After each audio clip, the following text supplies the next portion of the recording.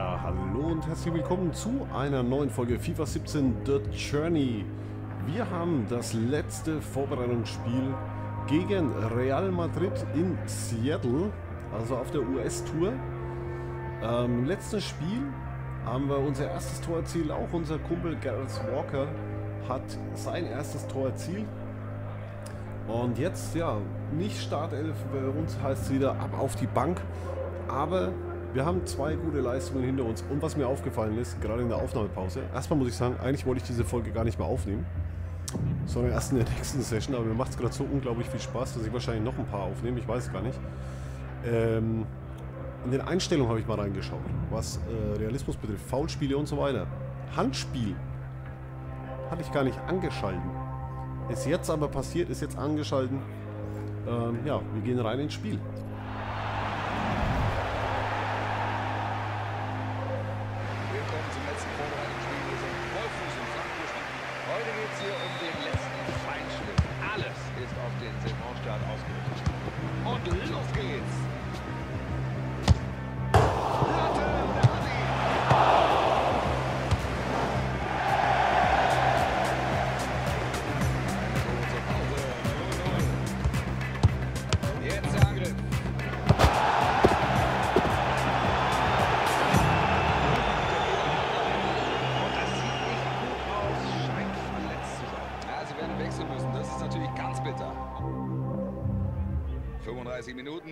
Alex Hunter kommt in die Partie.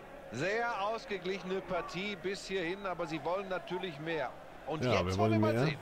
Führe ob 5 Hunter Zweikämpfe aus Basel Entscheidung auf bringen 7,0 das Ziel und hol dir den Ausgleich. Also hole mindestens einen Remis. Ähm, wir kommen für Negredo rein, der sich jetzt verletzt hat. Leider Gottes. Alvaro Negredo, der Allstar. Sozusagen.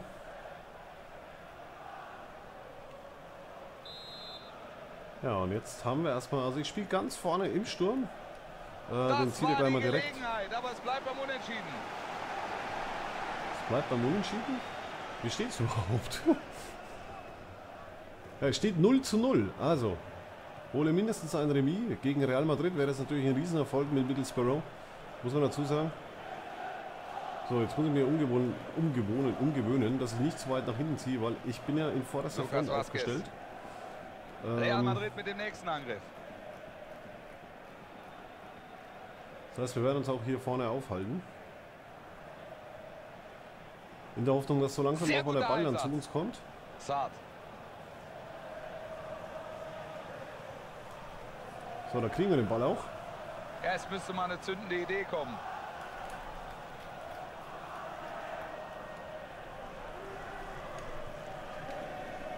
Schussversuch. Klasse Einsatz, hätte sonst gefährlich werden können. Vielleicht hätte ich es Casemiro. doch selbst probieren sollen. Die Defensive steht.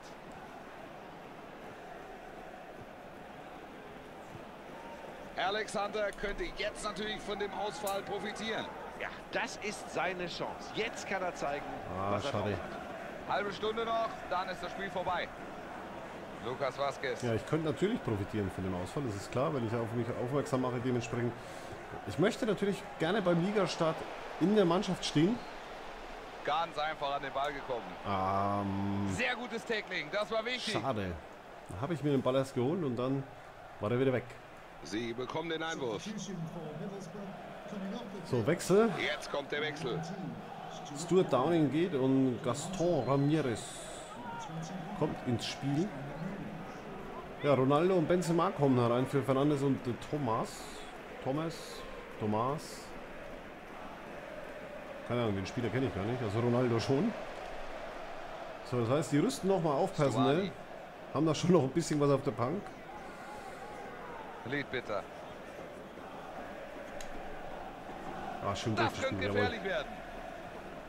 Sie lassen Ball und Gegner laufen. Die Spieler sind einfach so rein. sicher, da kannst du fast nicht in Ballbesitz kommen. Hunter! Super gemacht vom Torwart. Schade. Und Durch die Beine. Es geht weiterhin unentschieden. Da habe ich nicht damit gerechnet, dass der Ball überhaupt durchkommt. Aber gut, es hat geklappt. Es hat immerhin geklappt. Hunter. Klasse vom Torwart. Er Abschluss. pariert diesen Kopfball.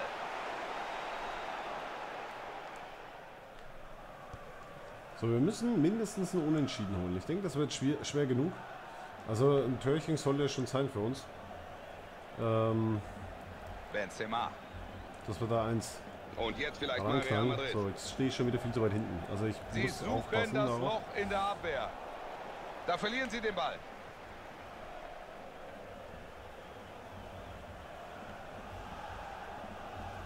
Saad. dass ich da vorne wieder reinkomme. Oh, der war nix. Der Angriff sah gut aus, aber dann kommt doch noch ein Hätte vielleicht den Gegenspieler Ball dazwischen. da behalten sollen erstmal, anstatt den langen Ball zu spielen. Cristiano Ronaldo vorbei am Oh, ich Gegenspieler. bin schon wieder viel zu weit hinten. Ich bin das nicht gewohnt. Ich spiele eigentlich selten dann als Stürmer. Er. Ja, das, das habe ich vermutet. Das habe ich genau, das habe ich vermutet, dass das passiert. Da kannst du als Keeper nicht schnell genug reagieren, wenn das Ding so angeschossen kommt. Nochmal der Treffer, diesmal aus einer anderen Ja, Perspektive. schade. Ähm, jetzt müssen wir Da mal mussten den wir also bis zur zweiten Hälfte warten, aber jetzt fällt endlich der erste Treffer. Hat das Regulär 1-0 für ist Real erzielt. eine Viertelstunde zu spielen. Jetzt wird's ja, Zeit, dass wir da Alex Hunter.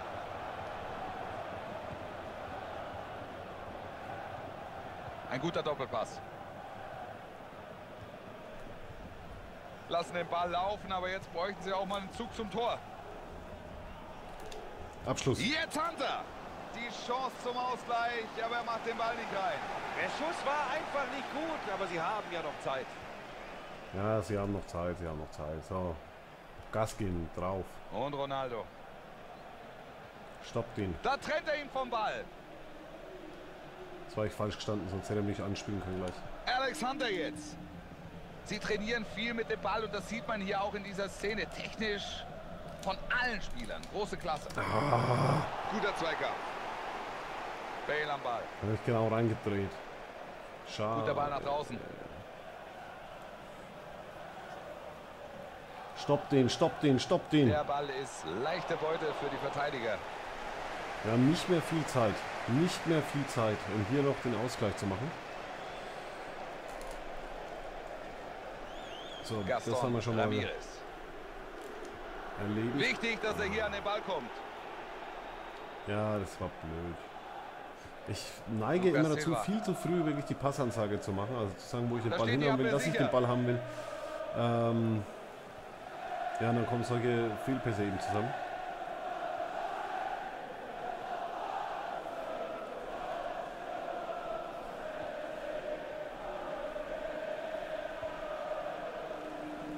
So kommen wir da ran, nee, ne? Ball schon wieder weg. Gut gemacht. Wir bleiben mal da. Philipp Lienhardt. Ah. Benzema. Das ist üppig. Es gibt fünf Minuten obendrauf. Fünf Minuten Nachspielzeit. Oh? Gott, und Ronaldo wieder. Oh Hier Gott. steht der Verteidiger gut, er hat den Ball. So komm, bring den Ball nach vorne. Bring den Ball nach vorne.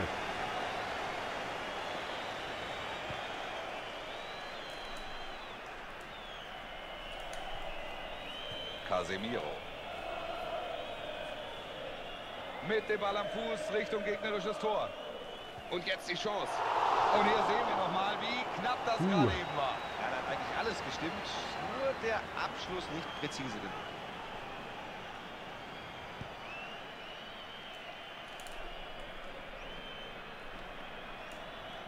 Das macht er gut. Saad. Ah, Das Spiel ist schade. aus. Real Madrid So ein blödes gewinnt. Tor bekommen. Wie bewertest du Alexander heute? Also wird sich zeigen, ob er den Ausfall kompensieren kann. Heute jedenfalls war es zu wenig. Er wird sich garantiert steigern müssen. Ja, ist richtig. Heute was zu wenig.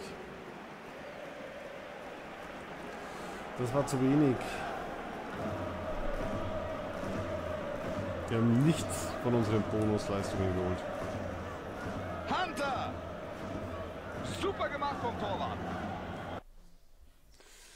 Tja.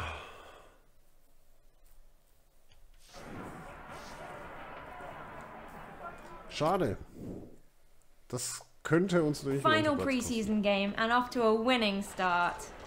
Sí, hemos empezado bien Eh, es una temporada larga, pero siempre es bueno empezar con una victoria. Do you think the injury had a big impact on the game? Sí, tuvo mucho, pero, pero Alex Hunter tuvo la oportunidad de entrar y ha hecho un buen partido. Ja, wir werden also von äh, James Rodriguez ähm, gelobt, immerhin. Ja, aber keinen Bonus bekommen, dementsprechend hat sich auch nichts verändert. Ähm, ein paar Follower mehr haben wir. Immerhin. Klein wenig Attributzuwachs. Ähm, ja. Ich bin ein bisschen enttäuscht jetzt. Aber zumindest sind wir in der Gesamtwertung ein bisschen äh, nach oben gestiegen auch.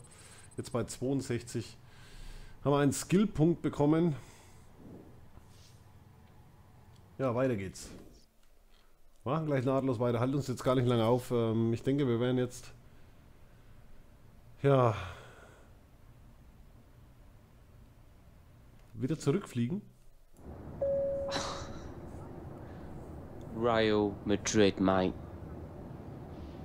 I know, man. I still can't believe it. We did alright out there, didn't we, mate?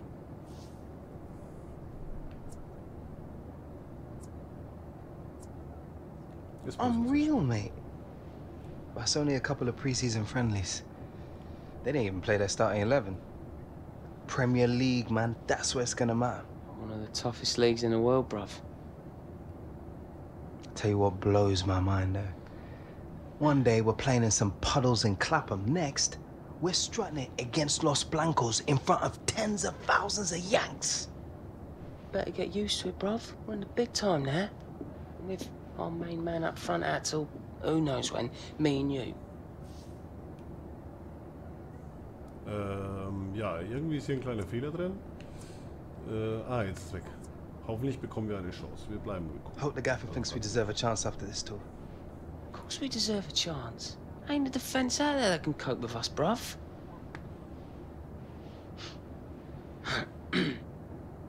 Your confidence is admirable. But your maths, not quite so much. You what's alright? By my calculations, only one of our first choice strikers is currently injured. And two into one do not go. Obviously, I should be starting. Yeah, man.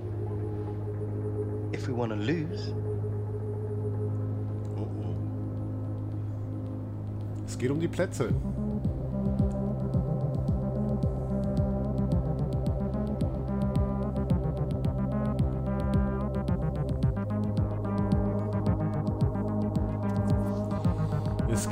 Plätze, Freunde.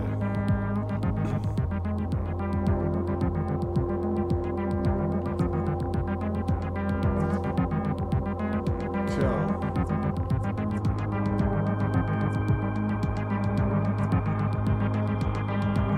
Negredo fällt mehrere Monate aus.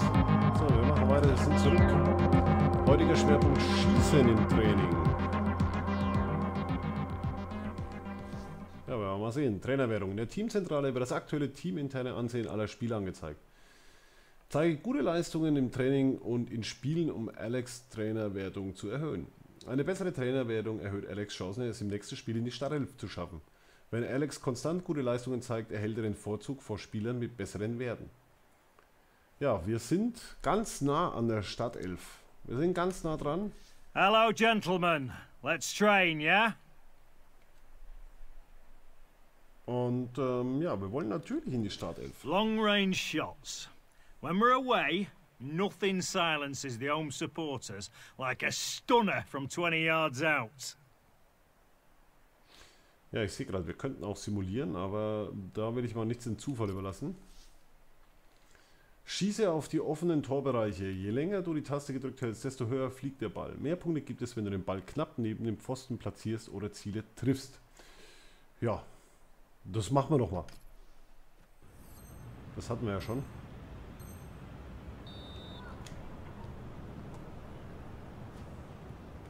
Nämlich in der Auswahl. So, da haben wir schon mal eins zerlegt. Ein Ziel. Oh, das war die Latte. Latte rettet. Und noch ein Ziel erledigt.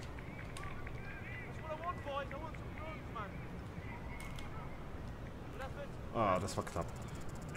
Das war knapp. Aber exzellentes Training abgeliefert. Da gehen wir gleich mal auf Fortsetzen. Überwinde den Torwart per Lupfer und erziele Tore. Je länger du die Taste gedrückt hältst, desto höher fliegt der Ball. Also LB und B, da hat sich zu FIFA 16 hin nichts geändert. Ähm, ja.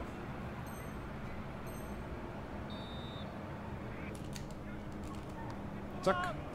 Da haben wir schon mal das erste. Und das zweite hinterher. Also die Kunst dabei ist, das ist, man darf immer nicht zu früh, aber auch nicht zu spät. Oh, schade, der ging daneben.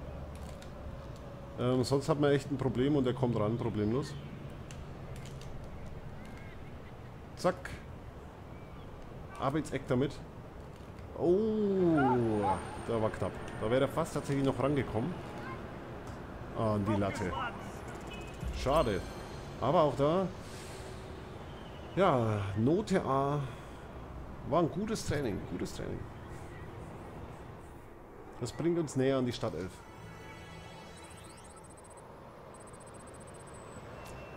Das bringt uns definitiv näher an die Stadt 11.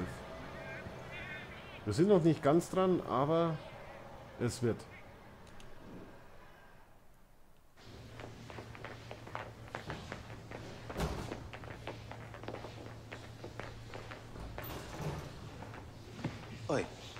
Mate, you see my ball? Why'd you bring your granddad's old ball to training? Look, have you seen it? It was in my bag. No. Yeah, yeah, very funny.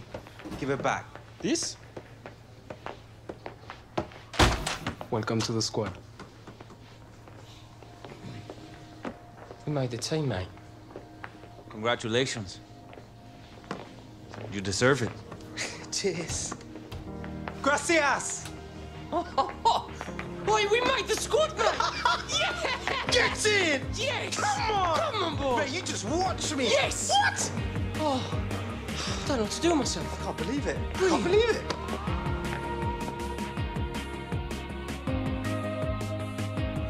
Also die ganze Story, wie das so aufgebaut ist, erinnert mich ein bisschen an den Film Goal. Ähm, ist so ein bisschen so aufgebaut, junges Talent, kommt irgendwo aus der Vorstadt, aus irgendeiner Kleinstadt oder was auch immer und schafft es dann das erste Mal ins Team in der Premier League. Ähm, damals ging es um Newcastle United. Ähm, ja, es ist, erinnert mich alles ein bisschen daran. Finde ich richtig cool aufgebaut. Äh, gefällt mir richtig gut. Ja, wir stehen im Team für das erste Spiel.